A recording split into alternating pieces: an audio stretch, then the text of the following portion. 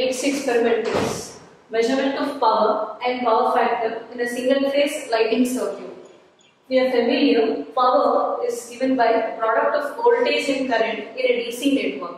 But if we are considering an AC circuit, power is given by product of voltage, current and cosine of the angle. This angle is the angle between V and I, applied voltage and the current flowing through the network. As it is giving us a power value, so this factor cos phi is called as power factor. A factor which is to be multiplied by V and I to get the exact power consumed in a network. So whenever we have an AC network, we may have an inductive reactance or a capacitive reactance. We know inductive reactance is given by 2 pi f into L. Capacitive reactance is 1 by 2 pi f into C. Whereas if you have a resistor, it is independent of F. In a resistive network, the voltage and the current, they would be in phase meaning the angle between V and I, it will be 0. So cos of 0 would be 1. That's the reason that cos phi term is taken as 1. Whereas if it is an RL load, in an RL network, always the current lags by an angle phi with respect to V. So we do have some angle phi. Power is given by product of V, I and cosine of this angle. But if it is an RC network, in a capacitive network, the current always is ahead. It leads the voltage by an angle phi. The power is given by the product of voltage, current and the cosine of the this angle. So our objective is we have to measure what is the power consumed in the network and what is the power factor in the circuit. So let us consider a single phase lighting network. So it is a single phase circuit. It is energized by single phase 230 volts 50 hertz AC. This 50 hertz is nothing but the F term which is to be accommodated and this is the network. So to measure current through the network, we always connect ammeter in series. The supply goes to an ammeter to record the current through the network. Then it goes to a wattmeter. A wattmeter has four terminals M, L, C and V. M and L always correspond to the current coil terminals. C and V correspond to the voltage coil or pressure coil terminals. So, this are the four terminals of wattmeter M, L, C and V. As M and L correspond to the current coil terminals, it should always be connected in series with the network where the current is to be sensed. So that's the reason it is in series with the load because we have to detect this load current.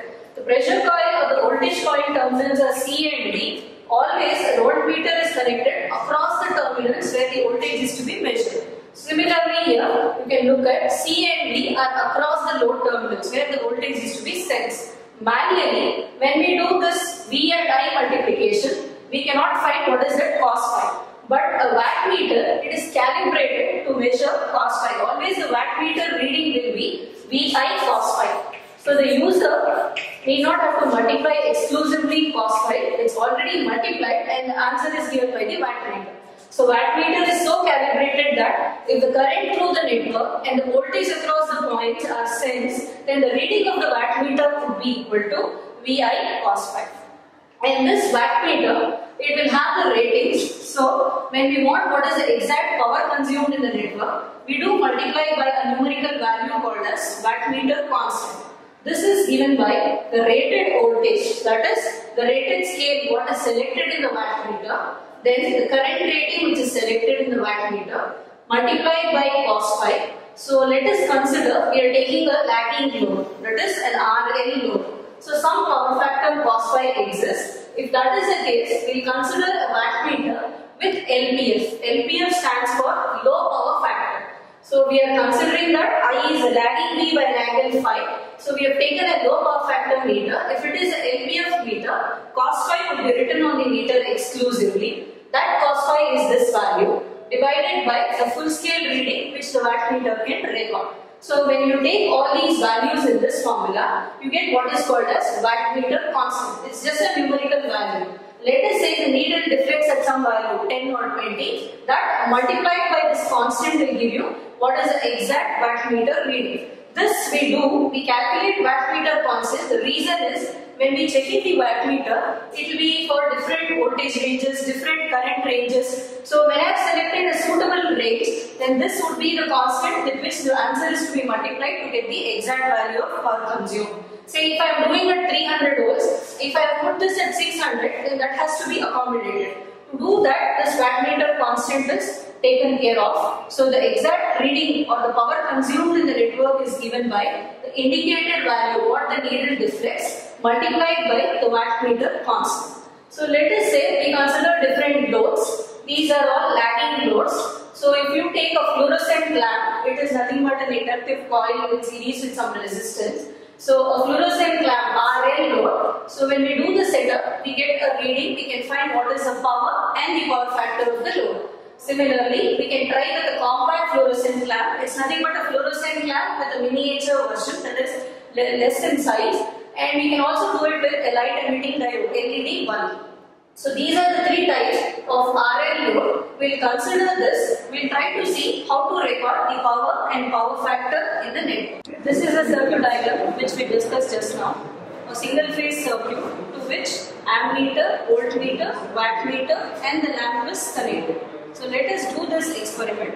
First calculate wattmeter constant and then rig up the circuit, try to get the readings, find out what is the power and the power factor for the different loads.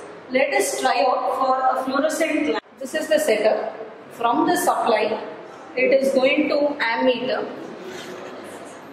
From the ammeter, it is going to the M and L terminals. M and L terminals of the wattmeter and C and V are connected across. From V, it is going to the load. The load is nothing but the fluorescent bulb which is connected, fluorescent lamp. And we have voltmeter, voltmeter across the load, ammeter in series. First of all, we'll see how to calculate wattmeter constant. As you can see, it is called an LPF wattmeter because we have taken an RL load. It is an LPF wattmeter if you see the wattmeter, you can see cos phi is equal to 0.2. So this is the power factor of this instrument. So we have to take this as cos phi. And if you look at this, the rated voltage is selected as 300 volts. And the rated current, if you check up this diagram, if B1 and B2 are connected, maximum of 1 amp can flow. So in this, B1 and B2 are connected. So maximum rated current is 1 amp. So the rated voltage is 300, the rated current selected is 1 and the power factor of the instrument is 0.2. The full scale reading, if you look at the instrument, it can detect a maximum of 30 divisions. So full scale reading will be taken as 30. When that is substituted, you get wattmeter constant as 2. So whatever is the wattmeter indicated, that has to be multiplied by 2 to get the exact power consumed in the network. Let us try out with a trial.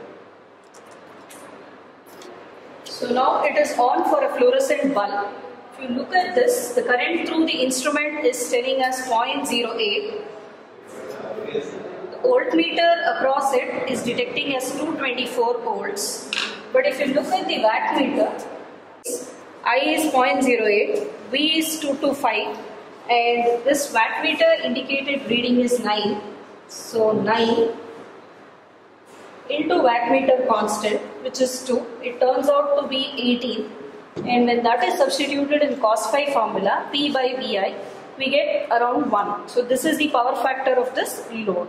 So this is for a single phase uh, lighting circuit. Similarly it can be tried for an LED bulb or a compact fluorescent lamp. All these come under the category of RL load or lagging load